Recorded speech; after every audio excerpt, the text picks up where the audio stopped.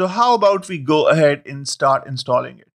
There are a couple of ways you can install it, you know, with shell or with homebrew, or you can just, you know, kind of uh, take a look at this guide called Deno install. And here you'll find a couple of ways, you know, using PowerShell or Scoop or Chocolatey, you know, uh, whatever is the uh, choice of your OS, it, it, I, I suppose it is covered here. So for me, I just use Homebrew because I'm on a Mac. I just used brew install Deno and uh, it ran and it installed Deno for me. I have I had nothing to do beyond that, you know. And then uh, to verify, you can either type Deno hyphen capital V or hyphen hyphen version and see if Deno is actually installed in your system now. Like I have a Deno 1.0 installed.